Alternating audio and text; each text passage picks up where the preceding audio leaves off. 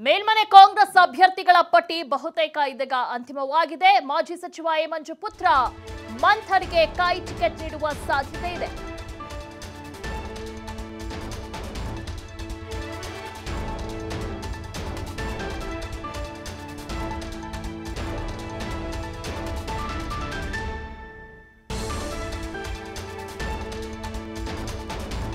ಕಾಂಗ್ರೆಸ್ ಅಭ್ಯರ್ಥಿಗಳ ಪಟ್ಟಿ ಬಹುತೇಕ ಅಂತಿಮವಾಗಿದೆ. ಮಾಜಿ ಸಚಿವ ಎ. ಮಂಜು ಪುತ್ರ ಮಂಥರ್ಗೆ ಕೈ ಟಿಕೆಟ್ ನೀಡುವಂತ ಸಾಧ್ಯತೆ ಇದೆ. ಟಿವಿಫೈ ಬಳಿ ಸಂಭಾವ್ಯ ಅಭ್ಯರ್ಥಿಗಳ ಎಕ್ಸ್ಕ್ಲೂಸಿವ್ ಪಟ್ಟಿ ಇದೆ.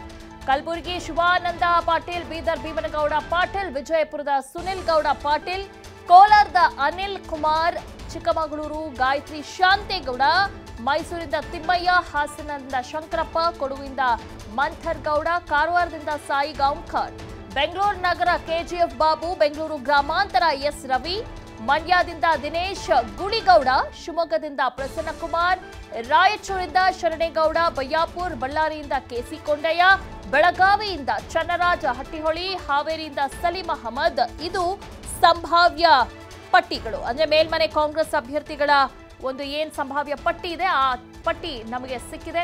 ಈ ನಿಟ್ಟಿನಲ್ಲಿ ಇದರಲ್ಲಿ ಬಹುತೇಕ ಇವರಿಗೆ ಟಿಕೆಟ್ ನೀಡುವಂತ ಸಾಧ್ಯತೆ ಇದೆ.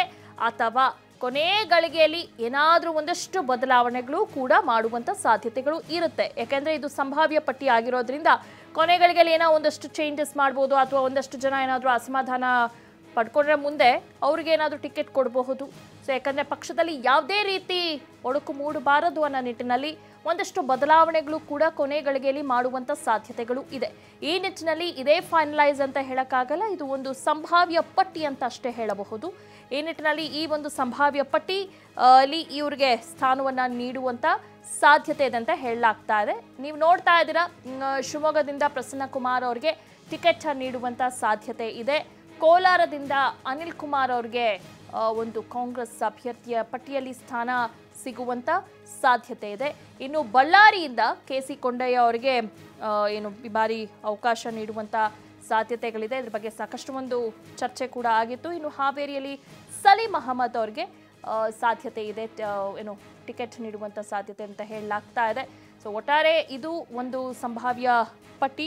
ಯಾರ್ಯಾರಿಗೆ ಟಿಕೆಟನ್ನು ನೀಡುವಂಥ ಸಾಧ್ಯತೆಗಳು ಇದೆ ಅಂತ ಬಹುಶಃ ಇವರಿಗೆ ಟಿಕೆಟ್ ಕೊಡ್ತಾರಾ ಅಥವಾ ಕೊನೆಗಳಿಗೆಲ್ಲಿ ಏನಾದರೂ ಬದಲಾವಣೆ ಮಾಡಬಹುದಾ ಅನ್ನೋದ್ರ ಬಗ್ಗೆ ಅಪ್ಡೇಟ್ಸನ್ನು ನೀಡ್ತಾರೆ.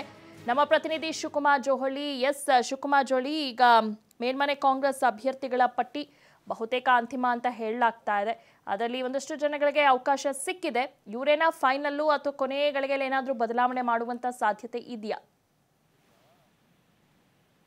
ದಿವ್ಯಾ, ಈಗ ಪ್ರಸ್ತುತ ಇರುವಂತಹ ಒಂದು ಹೆಸರುಗಳೇನಿದೆ ಇದರ, ಇದರಲ್ಲಿ ಒಂದೆರಡು ಹೆಸರುಗಳನ್ನ ಹೊರತುಪಡಿಸಿ ಉಳಿದ ಎಲ್ಲ ಹೆಸರುಗಳು ಕೂಡ ಬಹುತೇಕವಾಗಿ ಫೈನಲ್ ಆಗಿದೆ. ಇನ್ನೇನು ಒಂಬತ್ತು ಗಂಟೆ ಒಳಗೆ ಅಧಿಕೃತವಾಗಿ ಇಂದ ಪಟ್ಟಿ ಕೂಡ ರಿಲೀಸ್ ಆಗಲಿದೆ.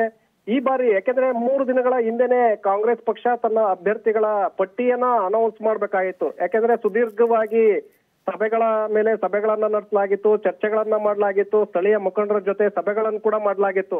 ಯಾಕೆಂದ್ರೆ ಅಭ್ಯರ್ಥಿಗಳನ್ನ ಗೆಲ್ಲುವಂತಹ ಅವ್ರನ್ನ ಯಾರಿದ್ದಾರೆ ಅನ್ನುವಂಥದ್ದನ್ನ ಹುಡುಕುವ ನಿಟ್ಟಿನಲ್ಲಿ ಈ ಎಲ್ಲಾ ಸಭೆಗಳನ್ನ ನಡೆಸಿ ಹೆಸರುಗಳನ್ನ ಫೈನಲ್ ಮಾಡಲಾಗಿತ್ತು. ಅದರಲ್ಲೂ ಕೂಡ ಎರಡು ಮೂರು ಹೆಸರುಗಳಲ್ಲಿ ಇವತ್ತು ಒಂದು ಹೆಸರನ್ನ ಅಂತಿಮ ಮಾಡಲಾಗಿದೆ. ಇನ್ನೇನು ಕೆಲವೇ ಕ್ಷಣಗಳಲ್ಲಿ ಆ ಒಂದು ಪಟ್ಟಿ ಕೂಡ ರಿಲೀಸ್ ಆಗುವಂತ ಒಂದು ಸಾಧ್ಯತೆಗಳಿದೆ. ಈಗಿರುವಂತಹ ಪಟ್ಟಿ ಬಹುತೇಕ ಅಂತಿಮ ಈಗ ಇರುವಂತಹ ಹೆಸರುಗಳು ದಿವ್ಯಾ.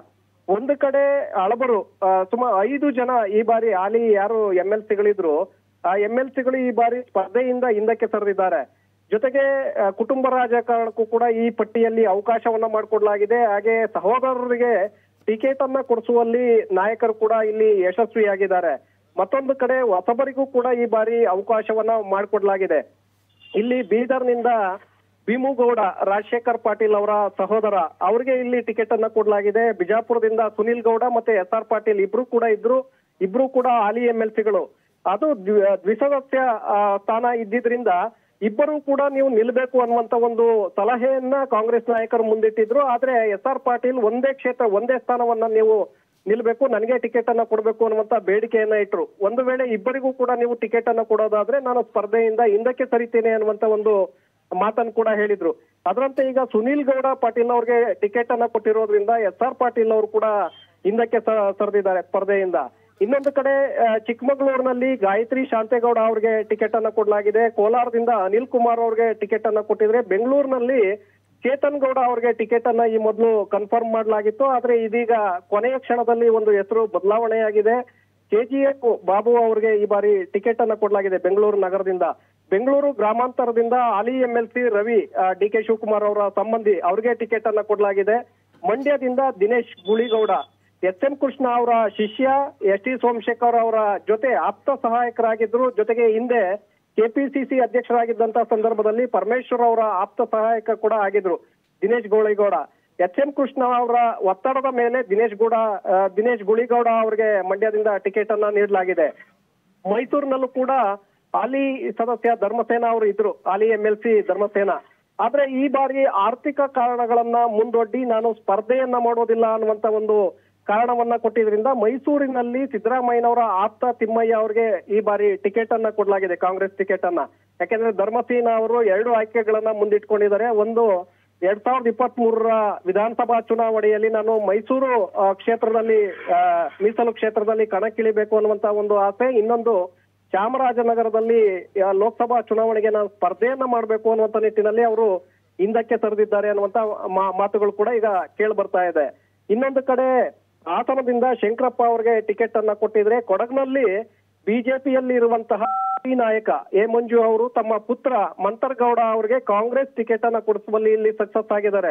ಯಾಕೆಂದ್ರೆ ಇನ್ನು ಕೂಡ ಎ ಮಂಜು ಬಿಜೆಪಿಯನ್ನ ಬಿಟ್ಟಿಲ್ಲ ಬಿಜೆಪಿಯನ್ನ ತೋರದಿಲ್ಲ. ಆದ್ರೂ ಕೂಡ ತಮ್ಮ ಪುತ್ರನಿಗೆ ಕಾಂಗ್ರೆಸ್ ಟಿಕೆಟ್ ಅನ್ನ ಅವ್ರು ಕೊಡ್ತಿದ್ದಾರೆ. ಮಂಗಳೂರಿನಲ್ಲಿ ಮಂಜುನಾಥ್ ಭಂಡಾರಿ ಅವರಿಗೆ ಟಿಕೆಟ್ ಅನ್ನ ಕೊಟ್ಟಿದ್ರೆ ಕಾರವಾರದಲ್ಲಿ ತಾಯಿ ಗಾಂವ್ಕರ್ ಅವ್ರಿಗೆ ಟಿಕೆಟ್ ಅನ್ನ ಕೊಡಲಾಗಿದೆ. ರಾಯಚೂರಿನಲ್ಲಿ ಶರಣೇಗೌಡ ಅಂದ್ರೆ ಅಮರೇಗೌಡ ಬಯ್ಯಾಪುರ ಅವರ ಸಂಬಂಧಿಗೆ ಅಲ್ಲಿ ಟಿಕೆಟ್ ಅನ್ನ ನೀಡಲಾಗಿದೆ. ಶಿವಮೊಗ್ಗದಲ್ಲಿ ಹಿಂದೆ ಮಾಜಿ ಆಗಿದ್ರು ಪ್ರಸನ್ನ ಕುಮಾರ್ ಅವರು. ಅವರಿಗೆ ಅವ್ರಿಗೆ ಈ ಬಾರಿ ಟಿಕೆಟ್ ಅನ್ನ ಕೊಡಲಾಗಿದೆ ದಿವ್ಯಾ. ಓಕೆ ಶಿವಕುಮಾರ್ ಜೋಹಳಿ ಧನ್ಯವಾದಗಳು ತಮ್ಮ ಮಾಹಿತಿಗಾಗಿ.